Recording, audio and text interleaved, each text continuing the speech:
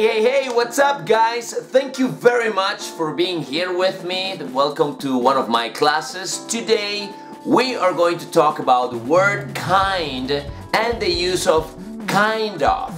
First, let's talk about the word kind. Kind could be an adjective and that adjective refers to the word in Spanish simpático o agradable. For example, we could say, he's a very kind man.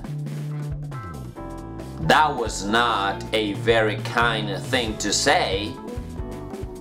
So if you are talking to a person and you consider that that person is a very nice person, you can say, oh, you are very kind. Kind is also a noun. And that noun refers to word in Spanish tipo o clase, una clase de o un tipo de. For example, I love the kind of people that smiles. what kind of music do you like? I like all kinds of music. Now we can also use the word kind with of and that is an expression. Many people use it as kinda and that expression means más o menos. For example, Hey, what's going on? Are you bored? Kind of. It's kind of cold here. That song is kind of dumb.